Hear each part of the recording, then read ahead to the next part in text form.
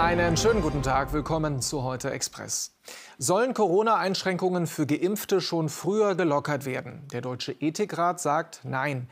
In einer heute veröffentlichten Stellungnahme lehnt er Sonderrechte ab. Es sei noch ungeklärt, ob von Geimpften weiter eine Ansteckungsgefahr ausgeht. Auch gehe es um die Akzeptanz in der Gesellschaft, so Sigrid Graumann vom Ethikrat. Solange noch nicht alle die Chance hatten, sich impfen zu lassen, würden viele besondere Rechte für Geimpfte als ungerecht empfinden. Es ist fraglich, ob Menschen, die keine Angst vor einer Erkrankung haben und noch gar keine Chance hatten, sich impfen zu lassen, dann noch bereit wären, die Infektionsschutzregeln einzuhalten.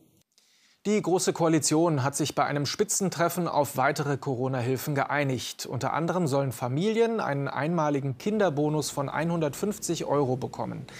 Denselben Betrag erhalten Empfänger von Grundsicherung. Die Gastronomie soll mit einem verminderten Steuersatz auf Speisen noch bis 2022 unterstützt werden. Und weitere finanzielle Erleichterungen sind auch für den Kulturbereich geplant. Der Kölner Erzbischof Wölki hat erstmals Fehler beim Umgang mit Missbrauchsvorwürfen im Bistum Köln eingeräumt.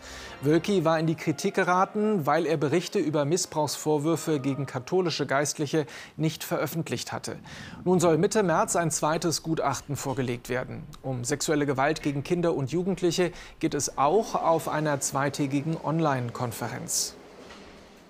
Die Hochwasserlage an vielen Flüssen Deutschlands bleibt angespannt, wie etwa an Mosel und Rhein. Am Niederrhein, wie hier in Düsseldorf, steigen die Pegelstände weiter leicht an. Die Schifffahrt Richtung Niederlande ist aber erlaubt. Flussaufwärts bei Köln wird der Rhein am Abend gesperrt, wie bereits an Ober- und Mittelrhein.